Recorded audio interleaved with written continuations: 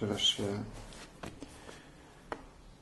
iduće poglavlje, sljedeće poglavlje u drugoj knjizi o samozdravljenju je očekivanja.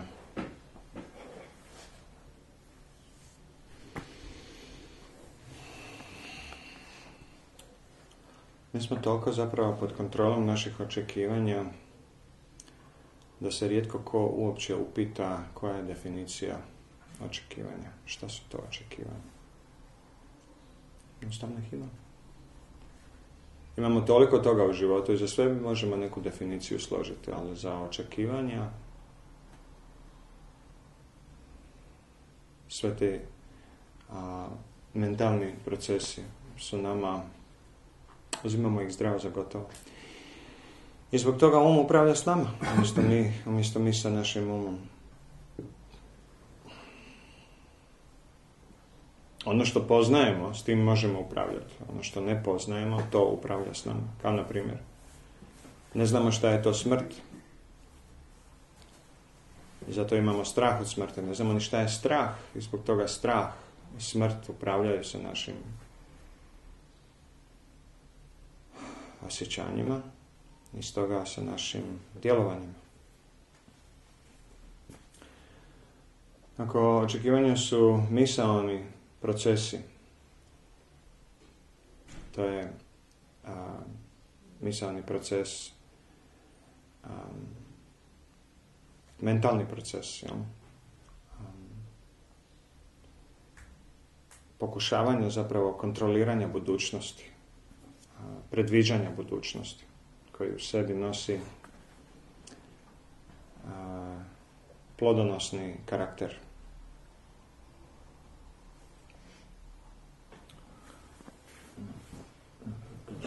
Definicija.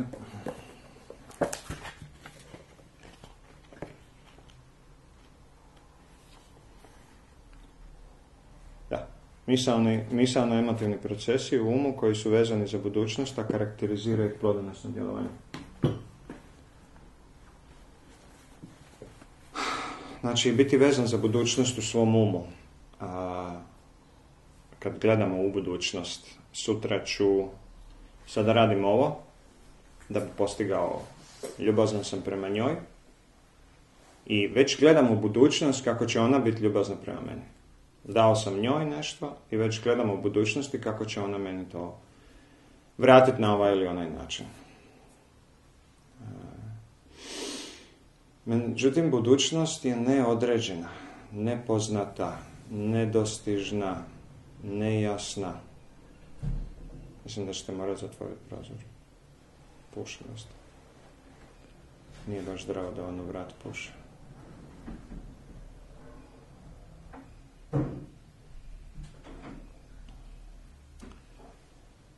Budućnost je nešto kao smrt, nepozna, nepoznanica koju ne možemo nikada razotkriti stvarno, dostići.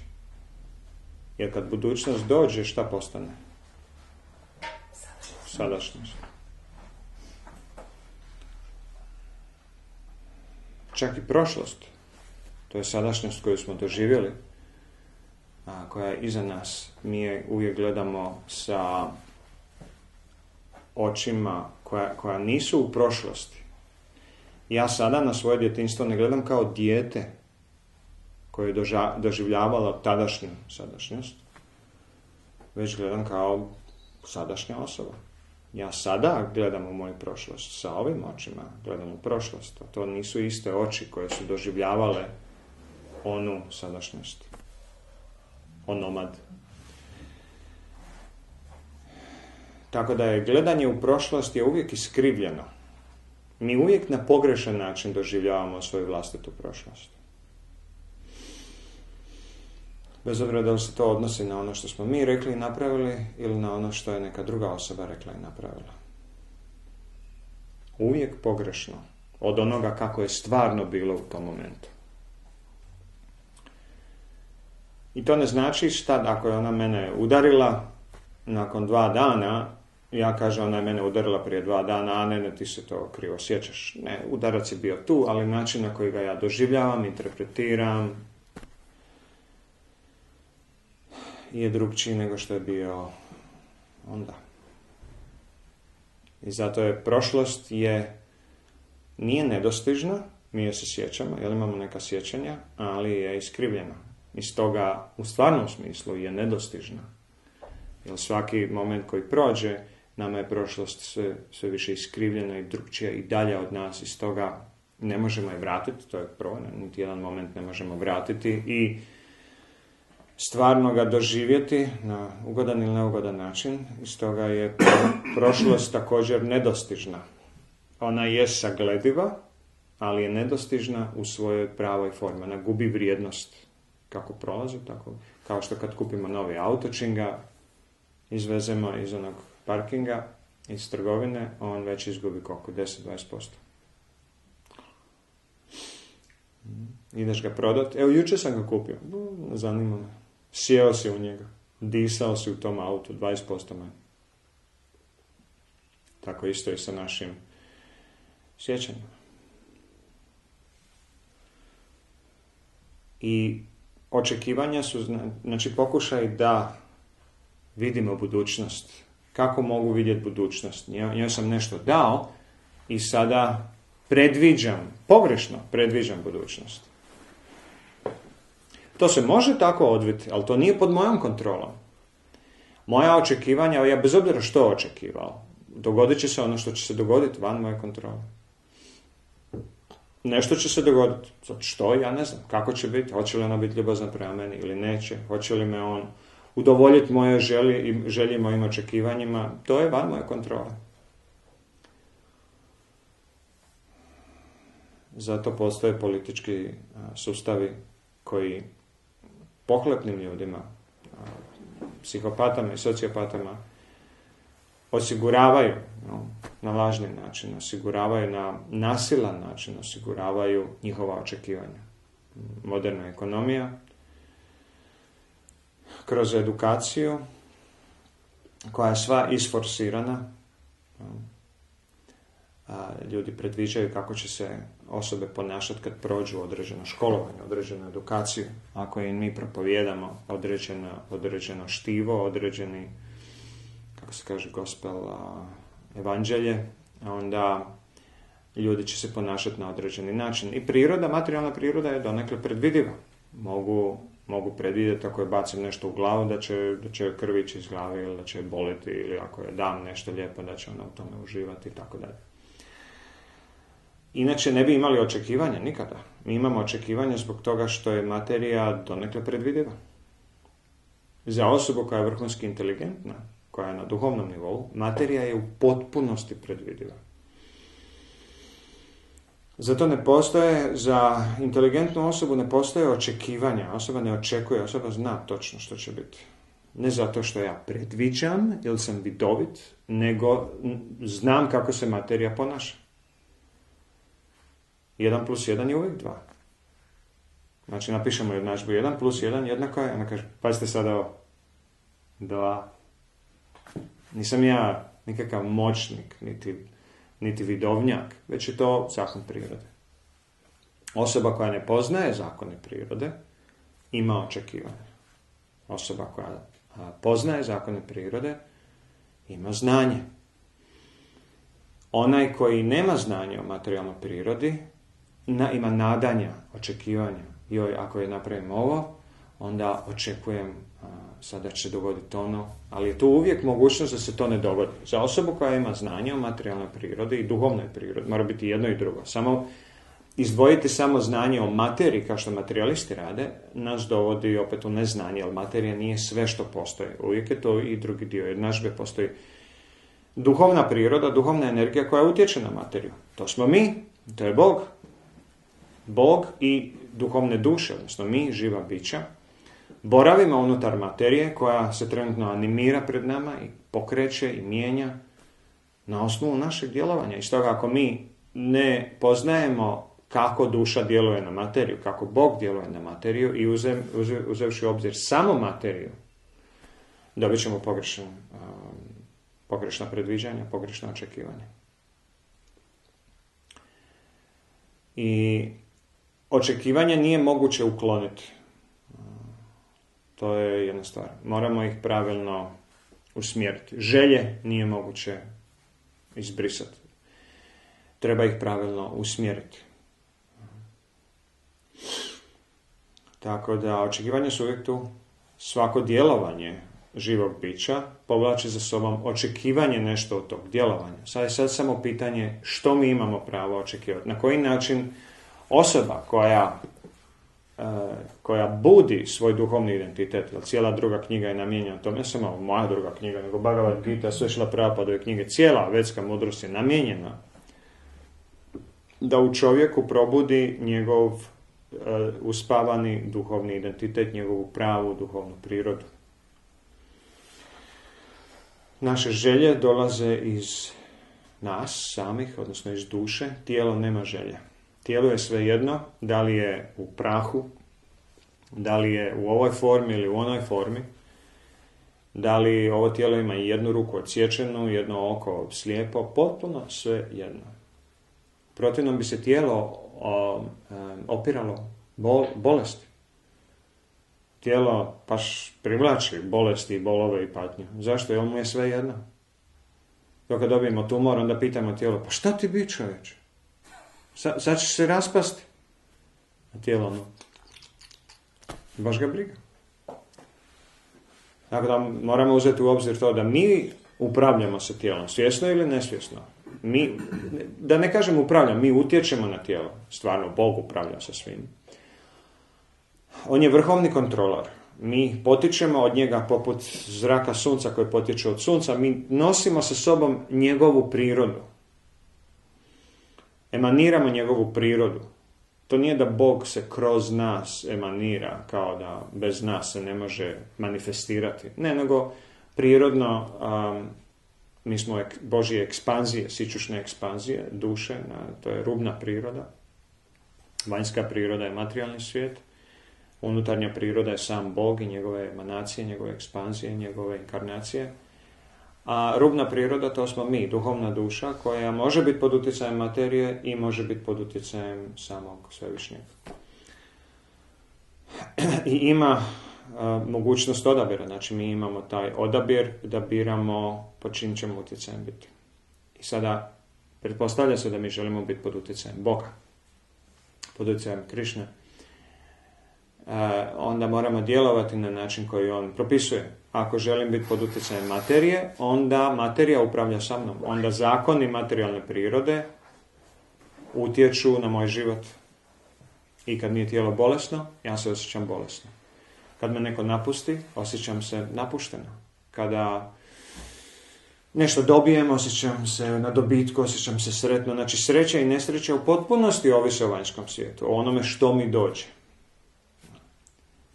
nekad čak i ljudi koji nisu spiritualisti shvate da a sreća je unutra, ja sam određujem, ali to jako kratko traje. Čim dođe jaka nesreća, bom, ja sam nesretan. Ili ako nesreća dugo traje, umre ti e, žena ili muž, pa ti umre jedno dijete, pa ti dobiješ bolest, a, da te vidim sad, frajer. Ako nemaš viši cilj, to je apsolutno nemoguće ostati cool i ostati sretan unutar što je nesreća. Ili ostati ravnodušan ako nam, ako nam dođe neka velika sreća.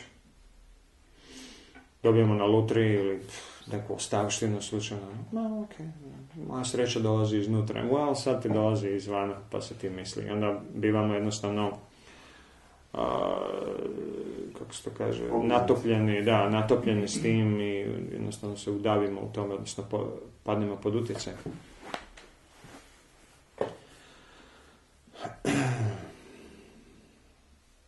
Kada je e, o našim očekivanjima također ovisi ishod naših reakcija. Svaka akcija ima istu i suprotnu reakciju. To znamo. To znači, ali ja sve što radim je neka akcija. Dok dišem, dok razmišljam, dok živim, stvaram reakcije. I stoga, a te reakcije su negdje u budućnosti. Jednog dana će doći moja reakcija na ovo što danas radim. To nije samo da ja govorim, vi slušate i to je reakcija. Ne, samo to. Moja će reakcija doći u budućnosti, možda večeras, možda sutra, možda za godinu dana, možda za deset života.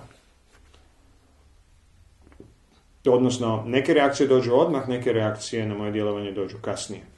Dakle, imamo lepezu reakcija na svaku akciju. Imamo trenutnu reakciju, imamo zakašnjele reakcije. I imamo one reakcije koje će doći, koje su e, takozvane u sjemenu. Znači svaka akcija stvara sjeme određene reakcije koje će tek doći u budućnosti. Naprimjer, danas uzmemo heroin ili popijemo neki alkohol. Jesmo li mi odmah ovisnik? Nismo.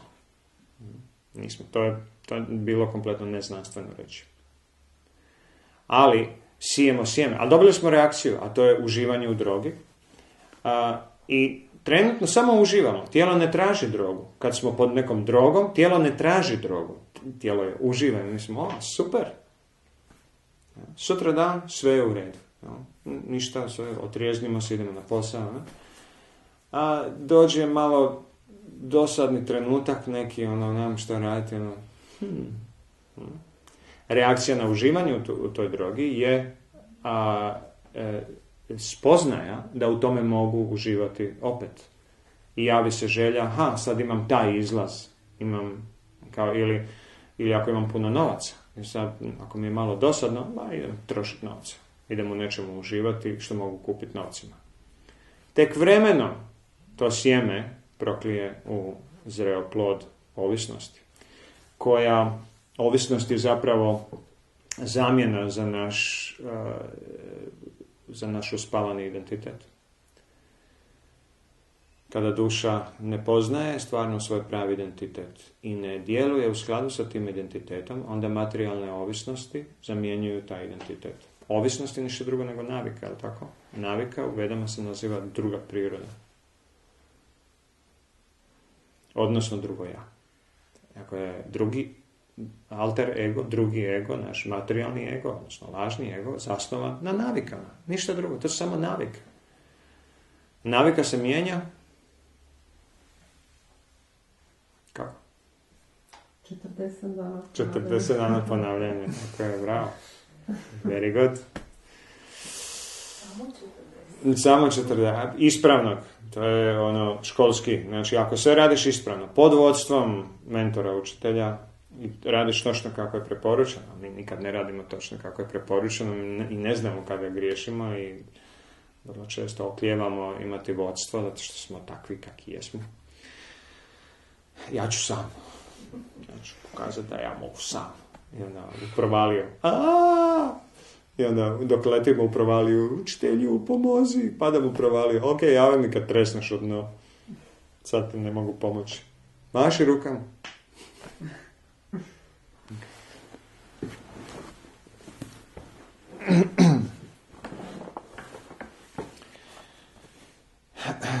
Tako je.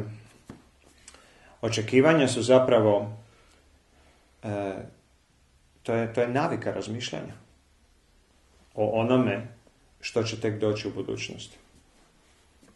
Pokušavamo već sada uživati u onome što još nije došlo. To je zapravo prevara. Varamo sami sebe. Baš smo lijepo razgovarale, Valentina i ja, i baš mislim da joj se sviđam i baš super se smiješila dok sam ja pričao i sad vjerovat, sad ja sebe, znate kako to je, jel? Pričamo s nekim dvije, tri minute i okice zasjaje i mi već cijela slika i onda ćemo imati toliko djece i on će vjerojatno raditi ovo, a ja ću raditi, ne, onda ćemo na večer ovo, onda ćemo ići na ovo, cijela mreža oko nas, breme od dvije tone. I, i mi kao budale onda čekamo da se to fino sve odbije. I onda kad se ne odbije, onda, hm, kako je on mislio da će, ja sam očekivao nekako da ćeš ti, a ti to nisi, stoga ja sam, šta? Šta sam onda ja? Razočaran. Razočaran. A da bi čovjek bio razočaran, prvo treba biti Očaran. A očaran znači biti zaslijepljen iluzijom. To znači biti očaran. Kad nas neko očara, bježimo glavno od te osobe ili od te situacije, ali to znači da krivo gledamo na to. Očekivanje da će nešto doći, znači pogrešno razumijevanje onog što sam ja napravio, onoga kome ili čemu sam napravio i onoga ko kontrolira svim tim. Znači ono kompletno, ko dijete. Nema pojma. Kao dijete izgleda, izgleda na, na plaži, pješčanoj plaži, izgleda neku kulu. Sad on misli, znači to tu ste, zauvijek stajati. Dođe prvi vali, i dijete ono, razočarenje, ono nevjerovatno, ako ste to ikad vidjeli, kako se dijete razočara sa nekim, ono, zbog nepoznavanja zakona, a mi ono, aj joj, ono. baš tam dođe žao, kako sad to popraviti, on plače, rida, suze, to slina, sve, ono. Neutješno, gotovo je sa svim. Mi nismo puno drugčiji. Zašto je dijete dijete? Zato što je u neznanju. Nema kapacitet da može razumjeti stvarno sve što se oko njega događa. Niti učiti na svojim greškama to dovoljno brzo prije nek što ga njegove greške ubiju. I zato treba pomoć odrasle osobe. Osoba koja je u neznanju o duhovnoj prirodi je kao poput djeteta, treba imati učitelja kraj sebe cijelo vrijeme, treba imati nekog koji će cijelo vrijeme nadgledati naše aktivnosti i naš um, nekome kome ćemo otvarati um, zato je jedna od vježbi, je, razotkrivanje svog uma. Kaži mi kako ti sad gledaš na ovu situaciju. Pa, tak, tak, tak. Šta očekuješ? Pa, to, to, to. No, no, no, no, no. Živjeti u društvu bakta, naprednih osoba, znači biti stalno korigiran na najljubazniji mogući način, kao što roditelj korigira dijete. Vidiš, ne, ne tako, nego ovako. Zapravo neće to, nego će ovo. I onda dijete ono, to što ono vidiš, on ne bi da je tako. Ali zakon prirode je iznad našeg ja bi i ja ne bi. Ako sad mi djelujemo i naš um će imati očekivanja. Ako mi ta očekivanja ne zauzdamo, ona će ići u smjeru budućnosti, u smjeru očekivanja a, ne, nerealnih očekivanja. Znači, ili ćemo imati realna očekivanja ili nerealna. Obično ljudi za sebe misle, jel misliš za sebe da si realna ili nerealna? Jel misliš za sebe da si normalna ili nenormalna? Mi uvijek živimo u toj iluziji. Mi uvijek imamo mišljenje o sebi, pa ja sam realan. Evo, bit ću realan. Ja, to ne možeš samo tako odlučiti. Kao da kaže, ok, danas ću biti bogat. Dosta mi je siromaštva. Odustajem od siromaštva, a danas sam bogat. To ne ide tako. Neko nas treba učiniti takvom osobom. Neko ko je realan će nas učiniti mm, da budemo realni, da pravilno sagledavamo sebe, svoje mjesto u ovom svijetu, ovaj svijet i onoga koji je stvorio ovaj svijet i koji ga nadgleda i kontrolira.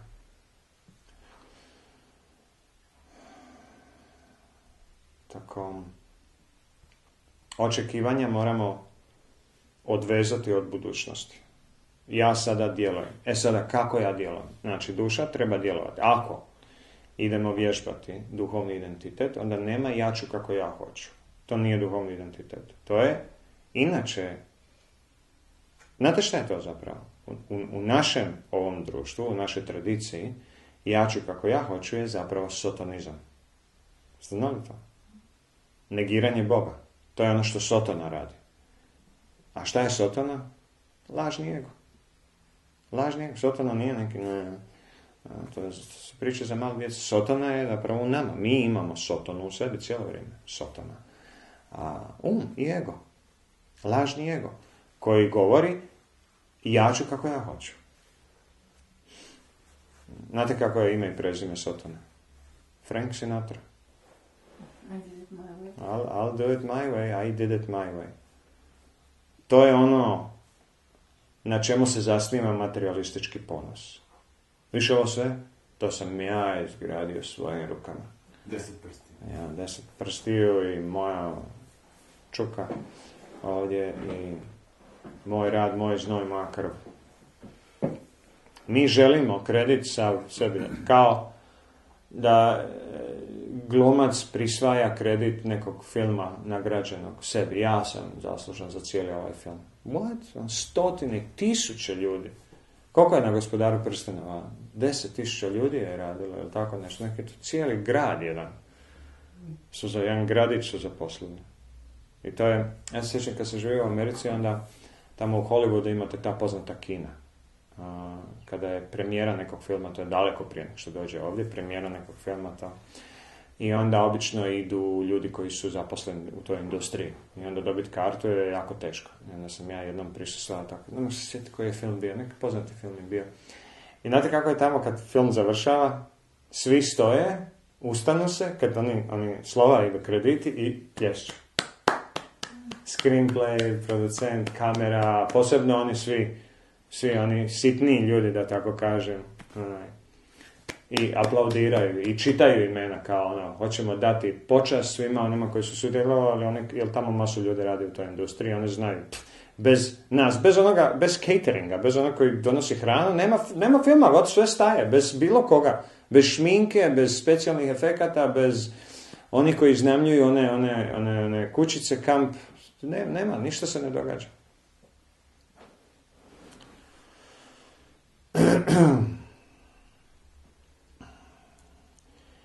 Tako da, e, tako da, sam glumac ne može reći, ne može nakon glume, nakon što odradi svoju ulogu u filmu, reći aha, film mora biti tako i tako i tako. On nema nikakvu kontrolu na tim. E, režija, producent, editor, ovaj kako se editor kod nas kaže? Editor? Urednik. Ha? Urednik. Urednik, e tako je, urednik, da. On, to su oni koji režu koji određuju koja će scena. Neće oni zvati sad Al Pacino reći što ti misliš. mogu, kao savjetnika i to što ti misliš ili ja. Ali uglavnom se glumca ne pita. Oni ka, kasnije, koliko glumaca ne voli kako je ispao film. Jesu imali neka druga očekivanja. Zašto ne voli? Očito ima neka druga očekivanja. Ali zna, gleda, to nije na meni, to je na njima. Oni to producent određuje i režiser, redatelj. kako će sve to izgleda, kako će urednik sve to izrezati, kako će specijalni efekti izgledati, sve, sve to ovisi o produkciji, o novcima, a ne samo o njegove glumi. Može gluma biti super, ali specijalni efekti jako loši. Ili je čudno izrezan film, pa ga je te, teško se Tako da, kad neko dobije nagradu za, neki film, neki Oscar, Emmy ili što ti ja znam, onda se zahvali. Hvala ovome i onome i svima koji ste sudjelovali bez toga šta... I još su i tekako svjesni toga. Zato kada snimamo film, najbolje ne imati očekivanja, nego prepustiti rezultate svojih dijela onome koji je krajnji urednik. I u našem slučaju redatelj, producent, urednik, kameraman, sve Krišna. I on će nama donijeti rezultate naših dijela u skladu s tim što je najbolje za naš duhovni napredak. Ukoliko mi želimo duhovni napredak. Znači, ako djelujemo na određen, recimo imamo razgovor s nekom osobom, radimo određenu aktivnost, mi se moramo prisjetiti ko sam ja. Ja sam duhovna duša, ja ne pripadam ovom svijetu, ja sam tu samo privremeno, ovo sve je rezultat mojih prošlih dijela. To što sam tu i to što imam ove interakcije i ovu lošu karmu i ovu dobru karmu i ovo uživanje, ovo ispaštanje, to je sve rezultat toga što sam prije boravio u materijalnom svijetu i sad mi ovo dolazi. Ovo je već izrežiran iz, i uređen film. On već teče, on gotovo je. Gledaj ga takav, tako kakav je. Ne očekuj ništa od njega. E sada, naše gledanje filma utječe na to kakav će film biti u budućnosti. To je jako važno za shvatiti. Način na koji gledam ovo što, sada, što se sada događa e, imat će utjecaj. Ne da smo mi krajnji kontrolor, nego će samo imati utjecaj. Da će film biti crno-bijeli, na 8 mm, na IMAX, kakvi će biti specijalni efekti, koliko će dugo trajati, kako će biti zvuk uređen. Možemo utjecati na te stvari, ali filma će biti definitivno. I stoga je jako važno da povučemo pipke svoje iz očekivanja. Znači, da, bude na, da, da rezultati budu na određeni način. Aha, ja sad s njom razgovaram i očekujem od nje to, to i to. Ali ne, zašto? Samo produljuješ svoj boravak u materijalnom svijetu na taj način. Jer što ako naša interakcija tek će, što ako će uroditi plodovima tek u idućem životu? I hoće, ako očekujemo. Ako imamo očekivanja, tek u idućem životu. Ja u ovom životu imat ću od nje prijateljicu ili neprijatelja, imat ću poslovnog partnera, ženu, ovo i ono, ali u idućem životu ona me čeka kao brat, sestra, prijatelj, neprijatelj, osobi koju moram vratiti ili ona meni mora vratiti ono što u ovom životu nije odrađeno. Stoga to je zapetljavanje predugo, u, predugo, kao muškarac i žena, seks za jednu noć, bom, za trudni, dijete, problemi, abortus, za brak, razvod, zlostavljana djeca, zanemarena djeca.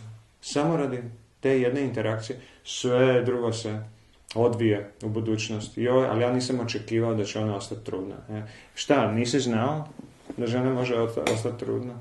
Pa samo nakon jednog seksa. Ono, ono dođe ti da, da u sudnici da, da bude jedna ona tava i, da, i ona koja baš zvuk dobar radi. Toing! Tako da svi čuju da si dobio po glavi. E to se nama i događa. Nama glava još uvijek zuji od prošlih udaraca, ali tako u životu. Mi idemo i stalno zuji u ušima, kao podsjetnik. Da smo, da smo onako pečeni debili. U mnogim situacijama nema šta reći, retardirani debili. Pa šta ti bi? A ne znam, ja sam mislio, ne znam kaj mi bi. Toing!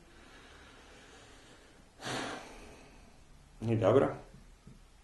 Sada, kada nemamo duhovnu aspiraciju, mi doslovno ništa ne učimo iz naših pogrešaka. Samo ih ispaštamo. I one, one se slažu jedna na drugu, kao sandvič. I sve gore i gore bude. Nisam znao da će se trudnit, onda drugo nisam znao da sam novčano odgovoran za to, onda treće nisam znao da ću u zatvor ići, onda u zatvoru nisam znao da ću se svidjeti onom mom u zatvorskoj čeli, onda sam, nisam znao da mi je stražnica toliko uska i da može prokrvariti, i onda nisam znao da od toga dolaze razne bolesti, i onda nisam znao da se od tih bolesti umire. I da se umire u najgorim mukama. I, ali onda je kasno pruženo.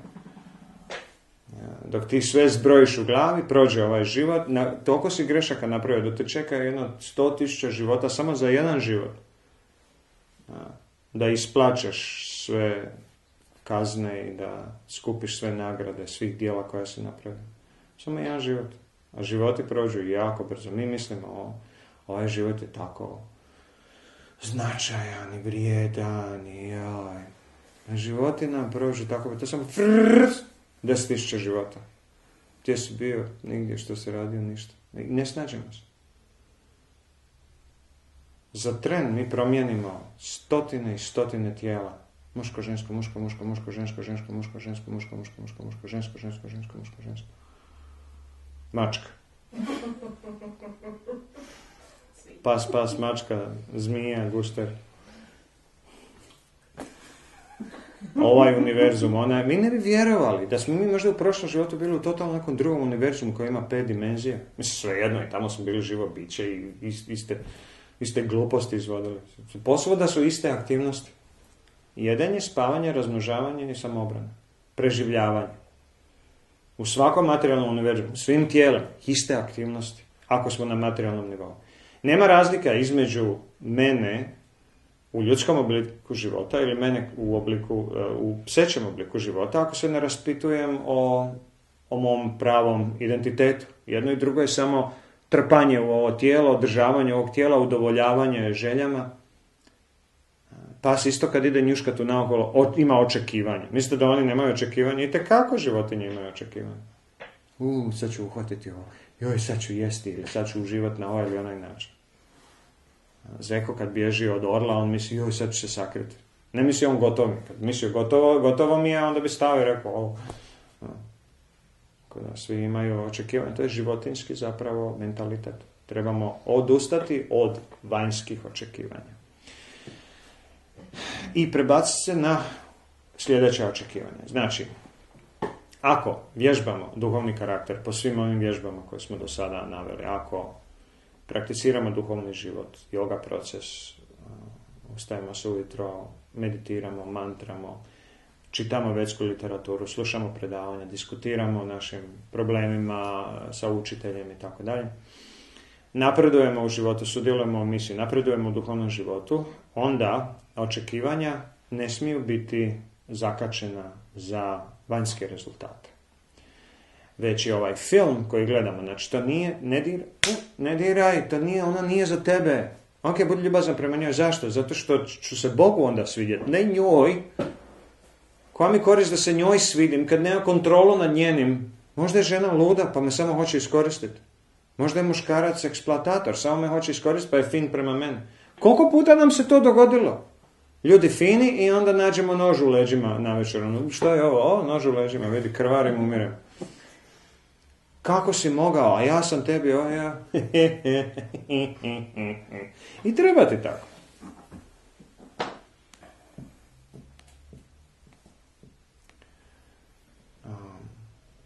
Već imamo očekivanja vanjski svijet, znači ono što se odvija predamno, je komunikacija Krišne sa nama.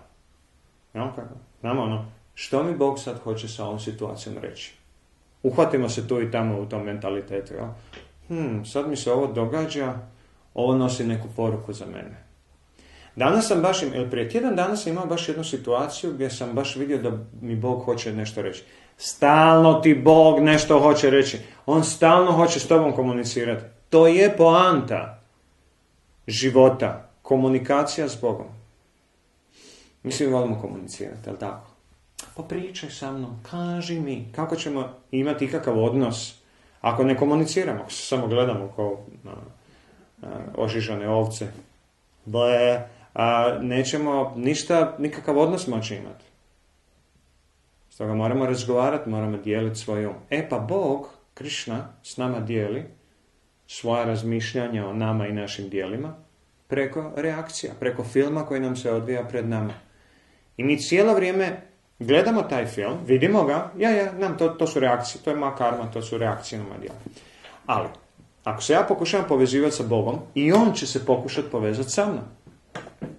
To je sto posto. Zašto? Zato što On više želi nas nego mi njega.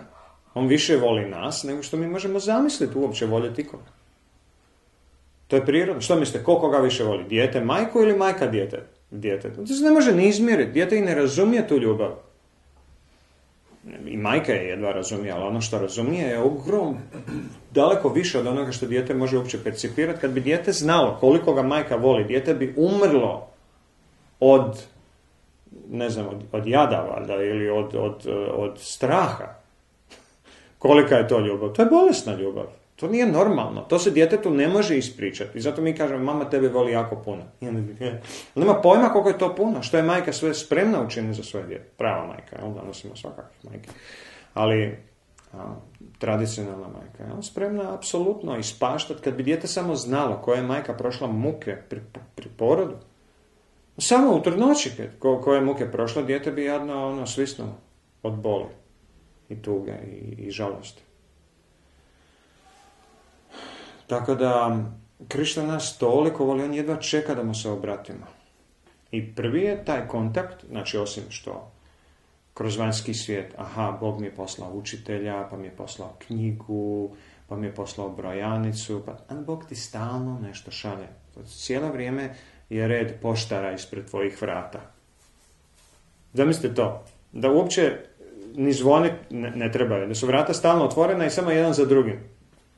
UPS, Hrvatska pošta, Ekspres ovaj, Ekspres onaj, DHL i što ti ja znam, FedEx, koji još kod nas imaju, G, nešto da.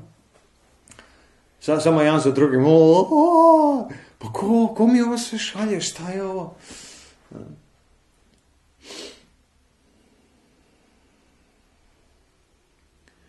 Ako Krišna želi da mi se priključimo na taj kanal komunikacije. I to se onda zove trajni sinhronicitet, kontinuirani sinhronicitet. onda oni gubi više smisao sinhroniciteta, kad je sve usklađeno cijelo vrijeme. Ako smo, to se zove svjesnost Krišna, Krišna čitanja.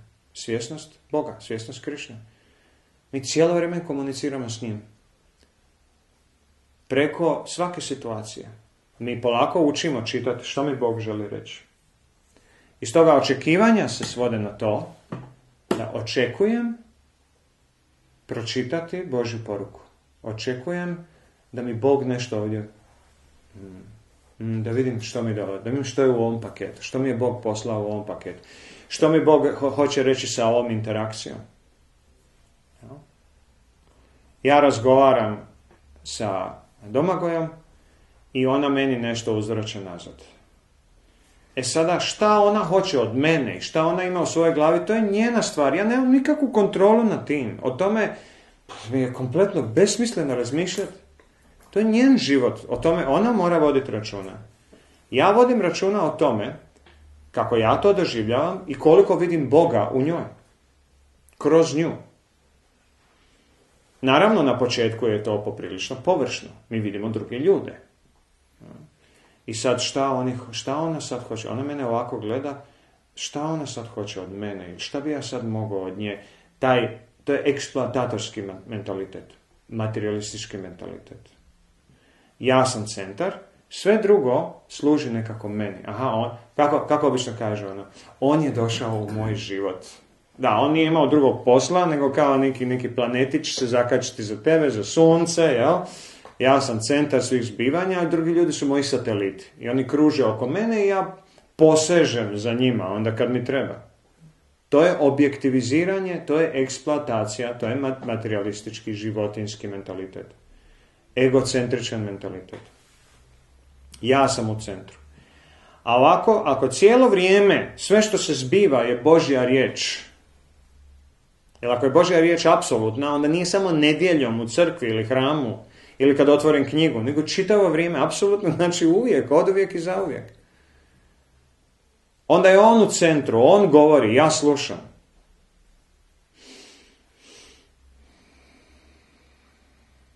On je taj koji, koji svime upravlja. Njegova je prva i zadnja. Ja sam tu da naučim prepoznati što on meni govori kroz ovo. I kad naučimo to, onda nam, to je ljepota življenja, onda u svakom momentu, to nije samo da ćemo onda, nekad Bog kaže, ej, što to radiš? Plus, toing, tuf, tup, ut. Oh, ja, Krišna mi je rekao, ne tamo, ne to, prste k sebi. Kako se usuđuješ? Nemoj biti takav. To nije samo, anđele moje, ovo, ba, ba, ba. Ja? Neke a, zamišljene šansone sa Bogom i šlagere. Već je on kao roditelj za neuko dijete kao što smo mi, on je roditelj. Kasnije kad sazrijemo možemo imati zreliji i napredniji odnos sa Bogom. Na početku je to ono, ako budem zločest, mama će me udariti po guzi. Mama, nemoj. Sad ti mama, ne, puf, puf. E, I onda dijete opet ide k majci. Kad nas Bog sa tamo po glavi, mi opet k njemu. Ono, ok, uh, negdje sam pogriješio, da vidim što sam pogriješio. I onda ako ne znamo čitati, život ide prebrzo, misli idu prebrzo. Učitelj je tu da zaustavi to. Kaže, vidiš, tu si pogriješio. Da zaustavi film na onoj sceni gdje smo bili idioti. Gdje smo bili blago retardirani. I da kaže, vidiš, retardaciju. A, je, sad kad mi tako pokažeš, kad mi tako objasniš, sad mogu vidjeti, ali u tom momentu nema šanse. Ja, život ide dosta brzo. I zato ga je potrebno usporiti. Život je potrebno usporiti. Duhovna praksa usporava život, usporava naše misli. Možemo u slow motion. Tek onda primjećujemo život oko sebe. Kad film ide na ubrzano, kao što je ovaj moderni život ubrzan, zato nas vlasti bičuju da živimo ubrzanim životom, da ne primjećujemo što radimo, da ne primjećujemo što nam se događa, da ne primjećujemo Boga. Kad osoba uspori svoj život, vidi Boga na svakom koraku. Prepoznaje procese oko sebe. može točno vidjeti, aha, ovo plus ovo će uzrokovati ovo, zato što je slow motion. Usporeno je sve. I zato trebamo u svoj život uvesti rutinu koja usporava naš život. Ne čini ga monotonim, već ga usporava. Mi tu monotoniju moramo, takozvanu monotoniju, moramo usmjeriti prema našoj, za našu dobrobit, moramo iskoristiti za našu dobrobit. Svaki dan mantraš recimo sat vremena, dva sata.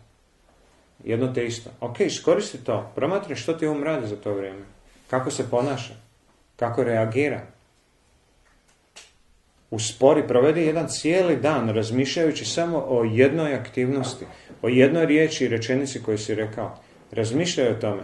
I ako vidiš da te uznemiruje, da nisi našao poveznicu sa Bogom, da, nisi, da, da, ne pričaš sa Krišnom jasno, ne osjećaš tu inspiraciju da ti govori.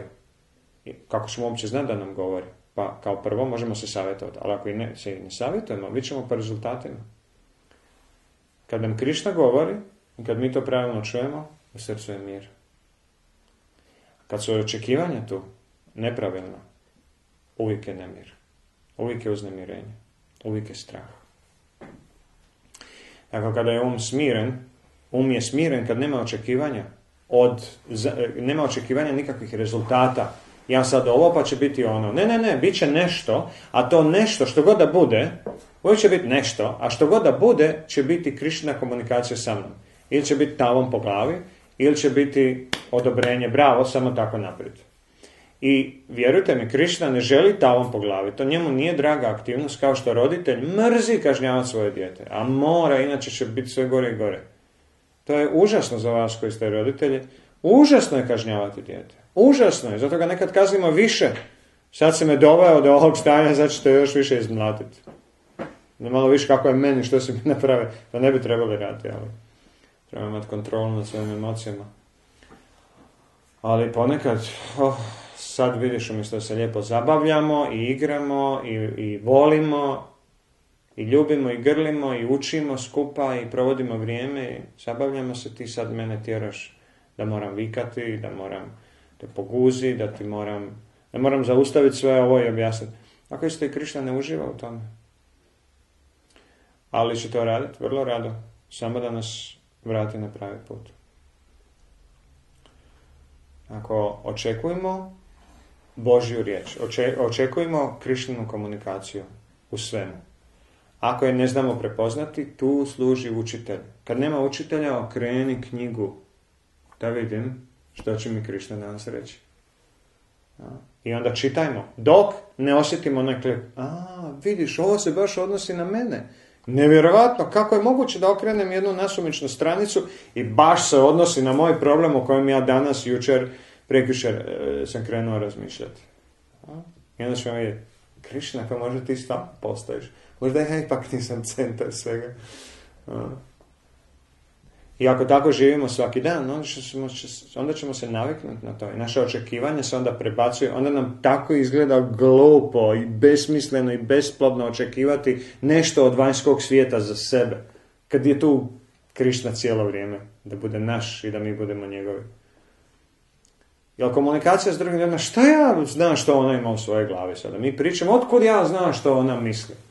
A o čemu ti sad ne razmišljaš? O tome i tome. Kako znaš što to, to možda laže? I najvjerojatnije laže. Mi rijetko kada kažemo ljudima stvarno što razmišljamo, ali tako, to je previše intimno. Previše intimno razotkrivati nekome svoju strategiju. Hm? Svoj plan, osjećaj, svoje očekivanja. Ne želimo da propadne, ne želimo da ispadnemo glupi. Ali tako, vrlo često mi se sramimo reći ono što osjećamo i što mislimo, zato što će ljudi misle da smo budale. A znate zašto je to tako? Jer jesmo budale. Naše očekivanje jesu budalasta. Smiješna, djetinjasta, sebična. I da, ohladilo bi puno ljudi od nas kad bi mi razotkrili to. I zbog toga je najbolje odustati od To što je najbolje, nemoj zaustaviti očekivanja. Samo ih usmjeri prema unutra. Znači, očekujem od Krišne. Jer on je neograničen. I od njega možemo očekivati kogu god hoćemo. Očekujem od Boga da mi se razotkrije. Ne vidimo. Hm? Kako sad kroz ovu situaciju i što mi pokušava reći? I postavlja se pitanje kako znamo što? E ne znamo. Na početnom nivou nemamo blage veze i zato nam treba učitelj. Vremenom naučimo, iz brojnih situacija i brojnih savjetovanja naučimo a, živjeti na taj način da bez da nam neko stalno šapće uho, no, učitelj ili to, da, da znamo prepot, postajemo zreli u duhovnom životu. Znači, niko ne bi napredovao, kad bi stalno trebali učitelja imati baš ono kraj sebe uz rame, znači da niko nikad ne napreduje. Odakle učitelju onda njegova uh, savjetnicama, našim mentorima, odakle njima sposobnost da nas vode. Ja? I oni imaju učitelja, ali ne dišu, ne dišu za vratom, ne vise im za ramenima cijelo vrijeme. Tako da ovu jednu afirmaciju iz ovog poglavlja. Za kraj.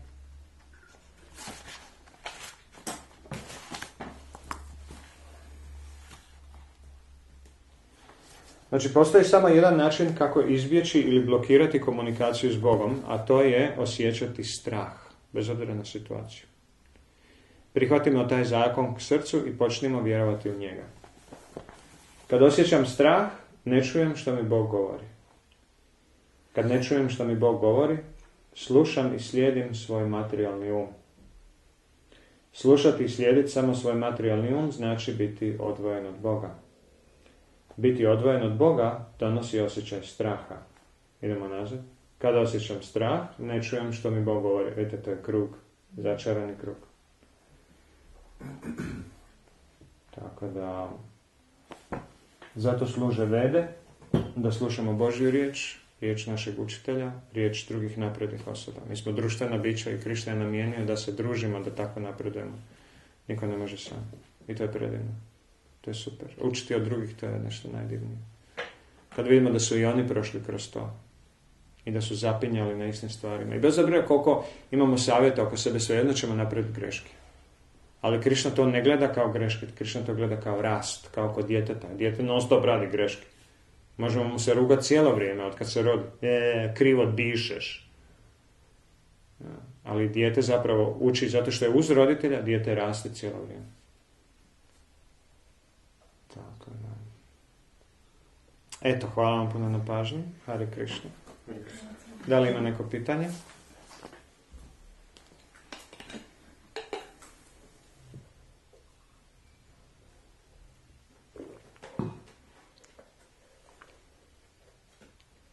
Jeste imali neka druga očekivanja do predavanja? Možda vaši osim moje očekivanja. Što je sa onim očekivanjima kada očekujemo od nekoga da ispuni svoju dužnost? Tipa muž, žena, žena, muž. Um, Moramo imati neka očekivanja. Da, imamo očekivanja, ali to, e, znači, recimo imam, imaš ženu i onda je dogovor tvoja su, tvoje su dužnosti ove, moje su dužnosti ove.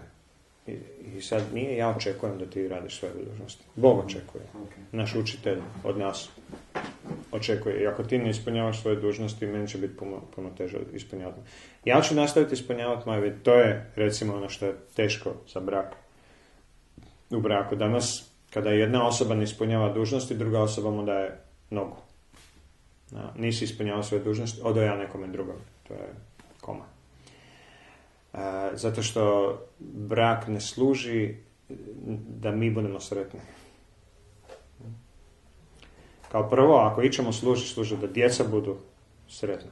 Čak ne ni sretna, nego da budu pravilno odgojena. Ali pravilno odgoj ge- generalno donosi sreću. Ali i ne mora. Mi možemo pravilno odgojiti djecu i zbog neke karme ta djeca svejedno odabe, naprave krive odabire. Je, to je moguće. Ali roditelj će reći, ja sam napravio svoje. Kod nas niko nije pušio, drogirao se, opijao se, niko nije bio nasilan, a moje dijete je završilo među banditima i ovo i ono. Meni je žao vidjeti patnju mog djeteta, ali ja sam svoju dužnost ispunio. Tako da neću se ja ubiti zato što moje dijete ili moja žena, ako moja žena radi neko griješno djelo, ja ću njoj reći, draga moja žena, ti ćeš ispaštati zbog ovoga. Naravno i obitelj će ispaštati zbog ovoga, ali ti najviše. Ti si pred Bogom kriva. Ne nužno predamnom. Ja razumijem, ovaj svijet je svijet izazova, pogreški. Sve je pogrešno u ovom svijetu ako ne slijedimo Boga. Ti se odlučila, ili po žena može reći možda, ti se odlučio ne slijediti Božja prava. Ne moja, ne moja. Ja od tebe nemam očekivanja, ne zato što nemam, nego zato što nemam pravo. Ja živim svoj život s tobom da bi skupa napredovali u duhovnom životu. Ali najviše da bi ja napredovao u duhovnom životu. To je pojete, ali ako ja ne napredujem, neće ni osoba kraj mene. Tako, mi moramo se potruditi da mi napredujemo u duhovnom životu, a to ne ovisi o drugoj osobi. Ako moja žena mene vara, da li znači da sam ja prevaran? Ne, ona je. Da li znači da sam ja loš muž? Ne, ona je loša žena. Ako sam ja nju varao, pa ona vara mene, onda smo oboje u balonu. Ali recimo, samo ona ili muž, jel, ako imamo muža, muž vara ili on pije, jel ti piješ? Ne. Jel si ti agresivna? Ne. Onda ti ne radiš ništa loše, zašto bi se osjećala loše? Ti si dalje u Božjem blagoslovu. I čak još više, sad imaš izazov. Ali zašto ja moram trpiti ovako muža? Kao prvo, mi svi odabiremo sami. A drugo, a, to je tvoj izazov sada. Ili ćeš biti ti u izazovu, ili ćeš svoju djecu i obitelj staviti u veći izazov, tako da odeš od te osobe i nego drugo osobe. Čekajte, isti izazovi, samo što ćeš ih prebaciti sa lijevog ramena na desno. Ako da osoba koja se bavi duhovnim životom ne bježi od, od svoje karme, od svog filma, nego gleda, Krišta, nešto mi hoćeš poručiti ovdje. Izlažeš me određenom treningu, očito želiš nešto od mene napraviti. Očito me brusiš, kao dijamant se brusi još tvrđim materijalom. Da bi dobili vrijedni dijamant, moramo ga izbrusiti, a brušenje boli. Znate kako nas Krišna, kako nas pretvara u kamenje? To je kao stavite grubo kamenje u vreću i onda tresete tu vreću jedno 20 godina. I kad izađu vani, to će biti fini obluci. Tako obluci se postave obluci, tako da ih more i trljanje učini jako glatkima, jel? Brušenje. Neće doći Krišna i onda po nama, nego on nas stavi skupa i Kud baš me stavio s njom, vidi nije kakva ili s njim vidi ovoga kakva. Kako mi, jesi ti savršen? Pa dobro nisi. Pa onda on će te izbrusiti, ne se.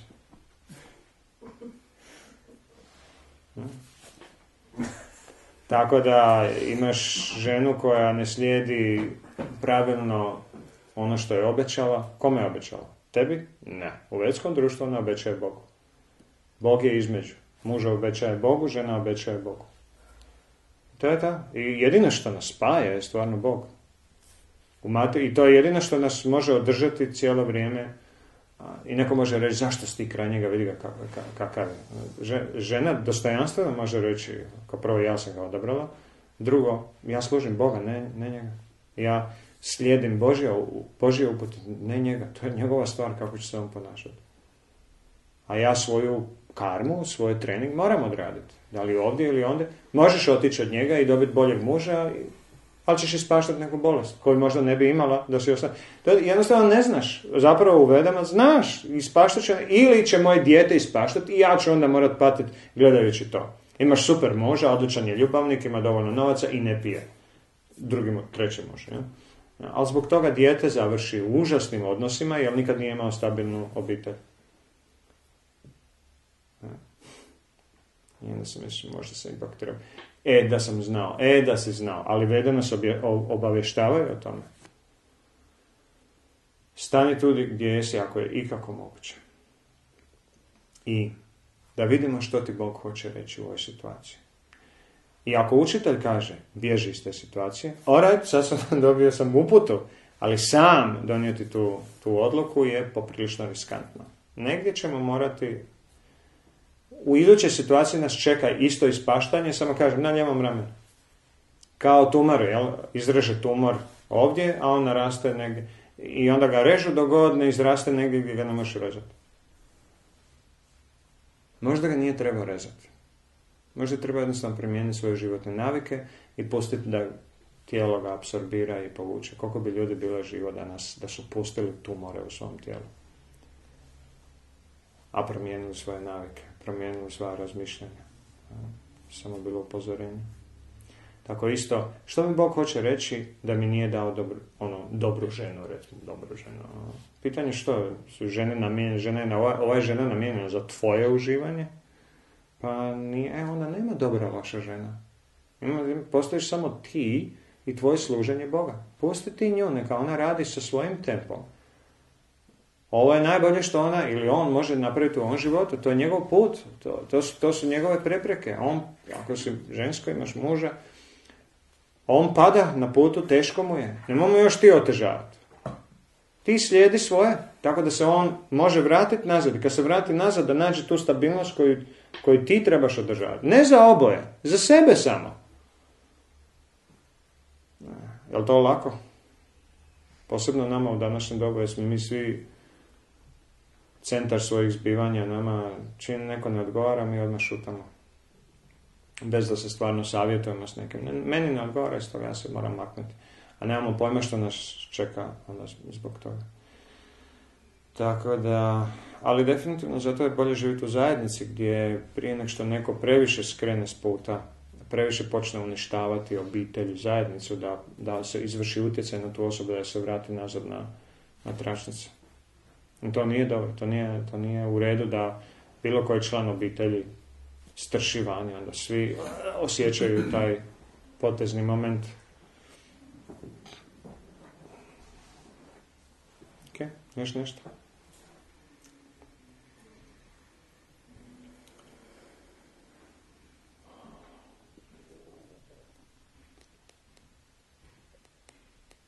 Dobro, nastavljamo dalje sutra. Hvala lijepo. Father know our Spirit.